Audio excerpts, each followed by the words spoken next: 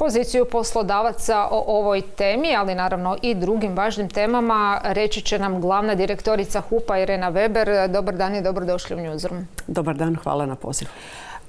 Vidjeli smo i čuli, dakle sutra na vladi je taj e, set e, zakona, zakonodavnog okvira koji se tiče e, zakona i o radu, a vidimo da se komunicira i ovaj rad nedjeljom, odnosno zabrana rada nedjeljom, kako to svako kolokvijalno kaže. Koji su vaše pozicije? Vidimo, vi ste jako žestoko reagirali na ovaj priziv savjesti. Mhm. Biće iznimke koje, kako, ili vama išta jasnije, ili ćete morati pričekati sutrašnji dan da vidite detalje kako je vlada upravo taj dio posložilo? Moramo sigurno e, pričekati sutrašnji dan da vidimo detalje samog zakona i kako je, e, su ove nedoumice riješene u samom zakonu jer e, kao i obično kad se zakon ide primjenjivati u praksi onda tek dolazite u situaciju da morate rješavati nekakve operativne probleme na koje zakonodavac ne razmišlja niti ih predviđa ovo što sam jučer napomenula, taj priziv savjesti radu nedjeljom sigurno će donijeti puno problema u organizaciji samog rada poslodavcima.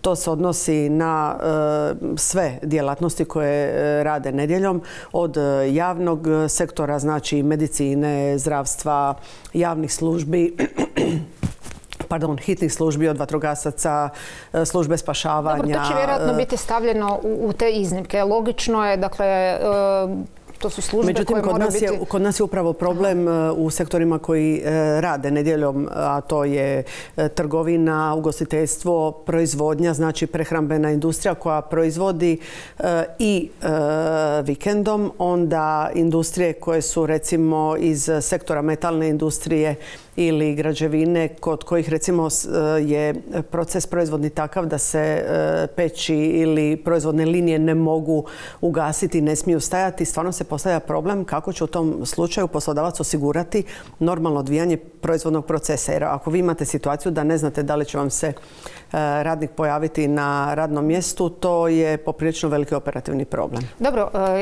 jeste li o tome razgovarali sa resornim ministarstvom? E, mislim, ovaj prijedlog nije od jučer, već se o tome razgovaralo. Mislim, vjerojatno u vladi onda su svjesni što su zahvatili e, i mislite li da će na kraju doći do jednog obrnutog procesa da će zapravo e, taj, taj priziv savjesti onda vrijediti za ipak manji broj ljudi u Hrvatskoj nego pa, što se ovako čini na prvi pogled? Ja vam moram reći da mi nismo bili spremni na ovu situaciju sa pravom radnika da naprosto odluči da neće raditi nedjeljom. Onda se čak i postavlja i pitanje, što sam isto već komentirala, opet selektivnosti e, industrija u kojoj je isto dopušteno ili nije dopušteno. E, kaže se da je riječ o e, situacijama koje su ili hitne, hitne situacije, pa se onda postavlja pitanje kako u hitnim situacijama doći do djelatnika ako on ima pravo isključiti se ili ne biti dostupan, a ili koje su u prirodi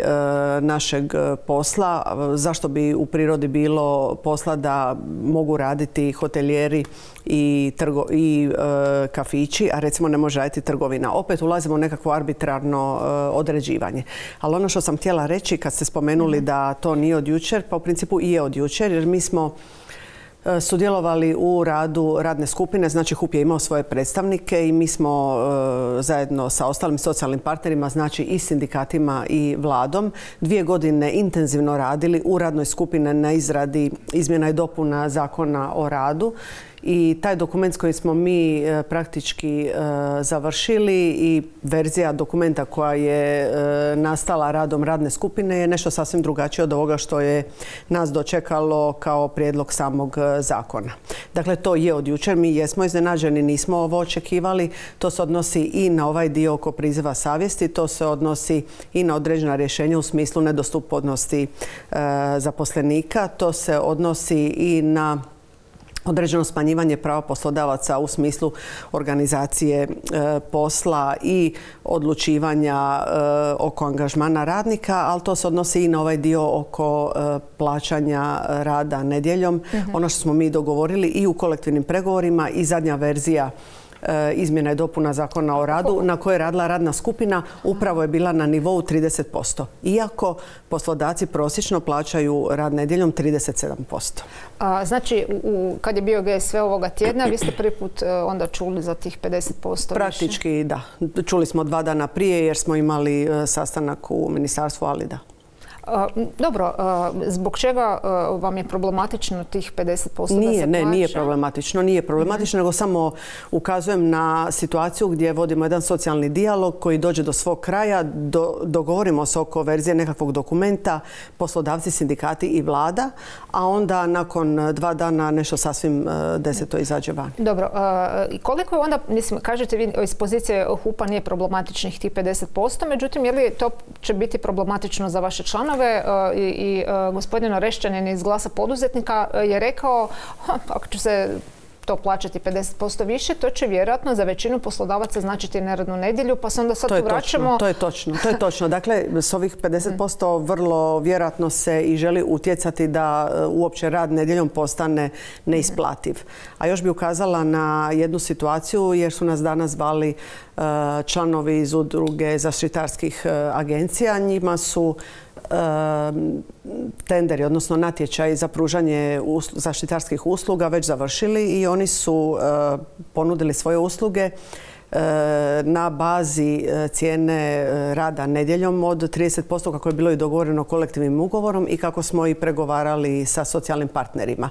Dakle, oni će sada praktički po ovim ugovorima koje su potpisali raditi ispod cijene koja, ispod cijene rada nedjeljom koja, je, koja će vrlo izvjesno biti propisana ovim zakonom. Što će to onda? Morat će promijeniti? Ne znam, ovo tam nam je sad opet nova situacija koju ćemo morati rješavati. A kažete, e, neće biti isplativo, e, ali znamo da poslodavci slabije su plaćali većina njih. A s druge strane, e, jedna je stvar biti zaposleni raditi nedjeljom u javnim službama. Kod privatnih e, privatnika to nije baš tako. Oni nisu sindikalno ni organizirani, niti potpisuju kolektivne ugovore. A vlada kaže da sad s ovima želi zaustaviti tu e, nepoštenu praksu, nego jednostavno nedjelja jedan poseban dan koji se mora na taj način i posebno platiti. Zašto bi to bilo previše za poslodavce da im neće biti isplativo? Ovisi o industriji i ovisi o uh, poslodavcu. Znači nisu svi poslodavci isti, nije svaka industrija ista. Neki uh, poslodavci sigurno će imati problema, pogotovo industrijama koji rade sa manjom maržom profitabilnosti ili poslodavcima gdje promet stvarno ne opravdava rad nedjeljom. Ja bih htjela reći da e, mi smo e, nakon e, dugo, dugo vremena pregovora oko kolektivnog ugovora, osobito u djelatnosti trgovine, upravo bili pred kraj dogovora i do kraja ove godine smo imali plan i namjeru potpisati kolektivni ugovor u sektoru trgovine. Međutim, sada s ovim novim intervencijama u zakonu stvarno se postavlja pitanje čemu onda socijalni dijalog, zašto onda praktički pregovaramo ako se sve prenormira u zakonu. E, naš stav je da zakon ne bi trebao biti e, toliko rigidan, zakon ne bi trebao toliko e, ograničavati slobodu dogovora između socijalnih partnera, mislim tu na poslodavce i na sindikate, nego bi trebao ostaviti upravo socijalnim partnerima da u međusobnom dijalogu dogovore svoj način rada. S druge strane, ono što je također jedna vruća tema, to je uh, ovaj porez uh, na posebni porez na dobit, odnosno kako smo ga ovako nazvali kolokvijalno na ekstra profit. I tu je jasan stav uh, poslodavaca. Te prijedlog je bio u javnoj proceduri, u javnoj raspravi. Mislite li da je vlada tu ipak nedovoljno razradila tko bi sve trebao potpasti pod taj porez, jer e, znamo što je bila neka intencija Europske unije kada se predlagalo tako nešto, dakle da se oporezuju po takvim porezom tvrtke koje su zaista u krizi, a to su energetske e, zapravo kompanije zaradile i to poprilično. Upravo tako. Ovdje se kod nas to proširilo, mislim, to je određena ta jedna granica, znate sami, 300 milijuna e, kuna prihoda i svima svi ulaze? Evo, doslovno ne znam od kuda počnemo. Ono, znači, s ovim zakonom sve vrvi nelogičnostima i, i nepravdama. Prvo, e, uredba Europske komisije zaista upravo je ideja da se e, ekstra profit koji se stvorio temeljem e, divljanja cijena energenata, da se on transferira taj dio ekstra profita iz energetskog sektora u e, sektore kojima je to e, odnosno koji su najviše e, bili negativno pogođeni ovim divljajućim cijena energenata. Tu se misli i na stanovništvo i na poduzetnike koji su imali strašan negativan udar. Kod nas se to jako proširilo, znači ne samo da se nije ograničeno na sam sektor energetike, nego se proširilo na cijele, cijel, industrijski, cijelo gospodarstvo.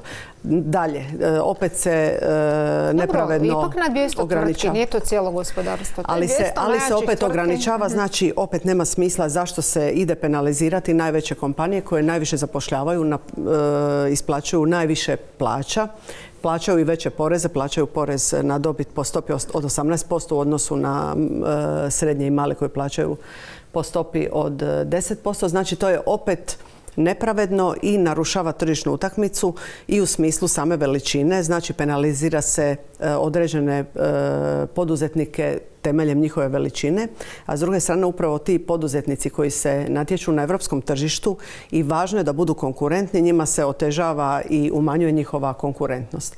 S druge strane, ako je ideja e, penalizirati one poduzetnike koji su ekstra profitirali, ovdje je sva sila poduzetnika koji ne da nisu profitirali, nego su se unatoč teškoj krizi izborili da ostanu e, vitalni. Na primjer, izvoznici. Nije moguće, e, umjesto da e, hvalimo i slavimo izvoznike koji stvaraju dodanu vrijednost i bogatstvo naroda na način da izvoze i e, stvaraju dodanu vrijednost, plaćaju porez u našoj državi. Mi sada praktički te koji su uspješni, koji su perjanica našeg gospodarstva, koji izvoze vani usluge na vrlo teškim e, i konkurentnim tržištima, mi im sada otežavamo. Onda sektor turizma. Nakon četiri godine e, vrlo, vrlo teške situacije, od čega su dvije godine pandemije, prva godina kad su koliko toliko imali normalnu sezonu i e, razina neto dobiti koja ni ne pokriva ni izbliza gubitke koje su ostvarili protekli godina, mi ih sada idemo opet kažnjavati. E, sektor ICT industrije, sektor ICT industrije koji E, de facto e, prodaje pamet, znanje, sposobnost, mi ih sada opet idemo kažnjavati na način da im e, otežavamo, da im uzimamo dio njihovog, njihove dobiti o kojih nema apsolutno ni riječi da bi to bio ekstra profit. A, dobro, ministar kaže, opće riječ kažnjavanje nije, nije opisu njegovog mjesta, ne bi to, kaže da to nije kažnjavanje, nego da je to pitanje solidarnosti, da oni koji imaju, čak u, unatoč ovoj krizi, daju mali doprinos, to je jednokratni porez kako bi se pomoglo najosjetljivijim slovima društva. Sada se tu spominje već neki prvotni izračun oko 2 milijarde kuna koji zanimljivo nije ušao u proračun sad za iduću godinu. Nije, to je točno. Da. Što znači da će vjerojatno negdje tamo na proljeće biti i rebalans tog proračuna gdje će se onda ugraditi i sam taj porez. Ali da se vratimo samo, mislite li vi da će se do, ipak u konačnom prijedlogu zakona iz, nešto promijeniti što bi vama bilo prihvatljivije od ovog prijedloga koji je sada iznijet e, kao ja se prvo nadam da će vlada stvarno čuti e, sve argumente, a nije samo, e, nije samo HUP da ima takav stav. Imaju sve udruge poduzetničke, imaju svi ekonomski stručnjaci, svi makroekonomski analitičari, svi profesori prava ekonomije praktički unisono se slažu da ovaj novi porez će imati snažne negativne efekte, puno veće ako i bude ovaj nekakvog prihoda u proračunu, negativni efekti će biti stvarno ogromni. Jer osim e, što otežava e, poduzetnicima e, položaj, financijski položaj, položaj likvidnosti u osvit krize i recesije, a očekuje nas kriza 2023. 2024 taj osjećaj nesigurnosti i e, neizvjesnosti sigurno će jako loše utjecati i na e, buduće investicije i na povećanje plaća. Mi smo danas imali e, nekoliko sastanaka. Ima poduzetnika koji recimo imamo situaciju poduzetnika koji planira investiciju u Lici. I on je već potpisao pisma namjere i dao je predujmove za kupnju hale, za kupnju proizvodne linije. Znači on je svoju likvidnost i svoj budžet već odredio njegova likvidnost i on mora, on ne može izaći iz tih ugovora, on mora kupiti tu halu, mora kupiti te proizvodne linije. On sad mora doslovno dizati kredit da plati taj porez. On mora dizati kredit da bi platio porez kojemu je, država praktički iznenada nametnula u 11. mjesecu. Ali to je tek, pa nije zakon još donijet, nije izglasan, vidjet ćemo što će biti. Trčili se Zato je govorim, stvarno je, ima e, nevjerojatnih e, situacija poduzetnika koji se stvarno osjećaju potpuno izbezumni. Je li ovo način da zapravo vlada e, dolazi zapravo na njima lak način do, do novca koji će u trenutku kada će se ponovo morati planirati neki paket mjera jer očito da će inflacija tako neće brzo splasnuti. Energetska kriza i dalje vidimo sad ove prilično zlokobne najave o, cijeni plina koja bi mogla od 1. travnja skočiti za 170% i tu je naravno pitanje za građane. Sve ovo što je vlada do sad napravila u tom e, paketu e, vrijedi do prvog četvrtog iduće godine. Je li to onda još jedan način na koji se vlada pronašla da evo 2 milijarde pa da u trenutku kada bude trebalo donositi neki novi paket posegne upravo ovoga na, ovaj način za Znači, dvije milijarde kuna to je projekcija na temelju financijskog e, rezultata e, ovih e, najvećih poduzetnika u 2021. godini. 2021. godina je godina koja još nije bilo snažne inflacije. Cijene energenata su bile nekoliko puta niže nego što su bile sada. Znači, mi sada, iako je točno da se plaća cijena struje koja je niža od tržišne, ona je još uvijek četiri puta veća od one cijene cijene koju su poduzetnici plaćali 2021. I to je četiri puta veća cijena e, struje od one koju su e, poduzetnici ukalkulirali u cijenu svojih proizvoda. Dakle, e, da, je niža, međutim i dalje četiri puta veća od one cijene koju su poduzetnici planirali u svojim budžetima. Tako da se ja bojim da e, dvije milijarde će biti teško dostižno sve da i e, zakon prođe što se ja duboko još jednom nadam da će nas vlada čuti i da će ipak se odlučiti povući taj prijedlog. A vi očekujete da u cijelosti povuče Pa ja se stvarno duboko nadam da će vlada ipak čuti da će razumjeti da su negativni efekti više struko veći od pozitivnih efekata na proračun. Iako i dalje nam nije jasno s obzirom da je proračun vrlo stabilan, dobro se puni.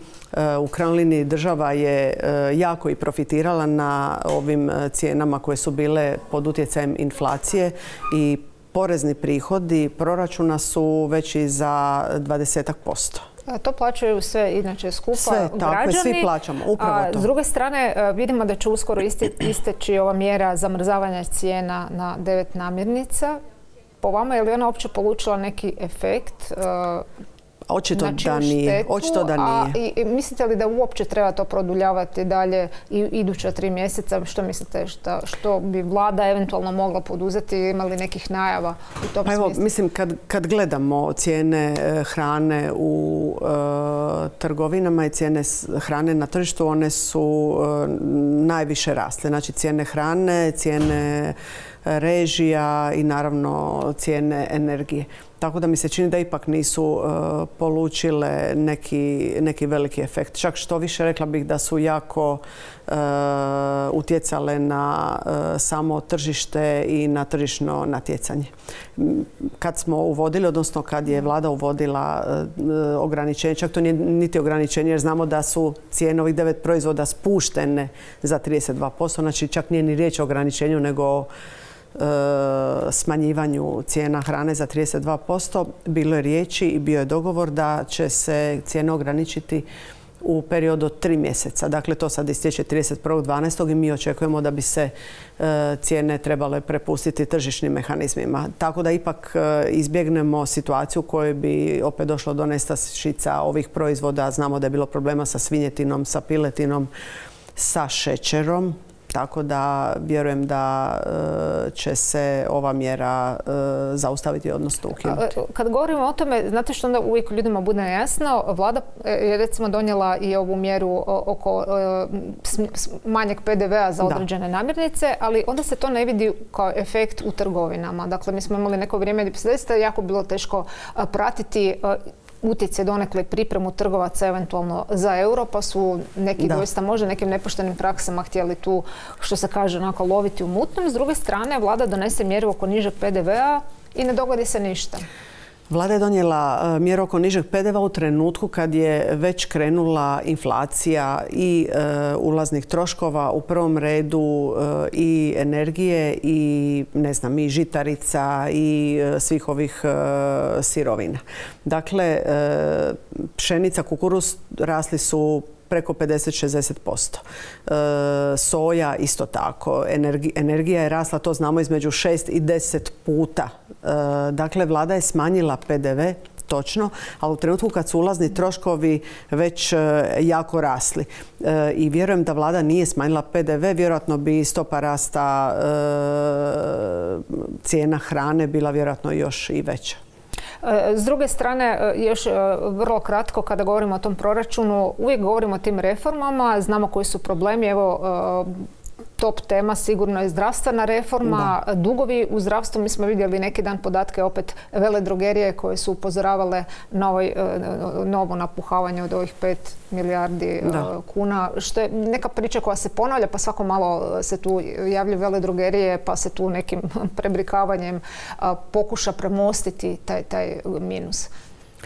Da, e, Vidite li vi, hoću, hoću vas pitati, vidite li vi u ovom proračunu kažete da je stabilan, međutim vidjeli ste tu neki iskorak ili je to nekako ono, uvijek manje više se to isto posluži, previše tu ima i državnih intervencija. Proračun se stabilno puni, znači prihodi od poreza su e, značajni. Evo sad je prvi put da je proračun probio 200 milijardi, što je praktički 60 milijardi rast od 60 milijardi u zadnjih 10 godina. To je 30%, to je ogroman rast E, proračuna. S druge strane, na rashodovnoj strani bili bi jako sretni da vidimo mjere štednje, pogotovo kad e, znamo da nas čeka kriza da nas čeka recesija. E, sigurno bi bilo lijepo vidjeti i mjere kontrole troškova, osobito u smislu reforme zdravstva koju se godinama čeka. Bez reforme zdravstva koliko gubimo e, mjesečno 30 milijuna zdravstvo guta. To su stravični troškovi. S druge strane isto reforma javne uprave, reforma e, javne lokalne samouprave. Neki dan smo isto imali vijest da od 555 jedinica lokalne samouprave samo ih je 10 izrazilo želju da barem malo ovaj, spoji nekakve odjele i nekakve službe 555 jedinica lokalne samouprave mislimo da je to stvarno neodrživo i da samo u ta dva dijela, u javnom sektoru i u sektoru zdravstva sigurno jednim, jednom dobrom, e, zdravom i snažnom reformom možemo postići značajne uštede u proračunu. Ali to se ne događa. I vrlo kratko pred kraj, e, naravno vi ste bili jedna od glavnih osoba u Agrokoru, odnosno kasnije Fortenovi, operativna direktorica. Kako gledate na ove događaje danas u Fortenovi? Koliko to pratite? koliko je to sve skupa zapravo komplicirano, zamršeno? Već je puno vremena, da, od kad sam ja otišla iz e, Forte Nove i de facto pratim e, iz medija što se događa. Ono što stvarno e, vjerujem, vjerujem u budućnost Forte Nove, vjerujem u budućnost tih kompanija. To su kompanije e, fantastične sa fantastičnim e, brendovima i sa e, odličnim operativnim rezultatima.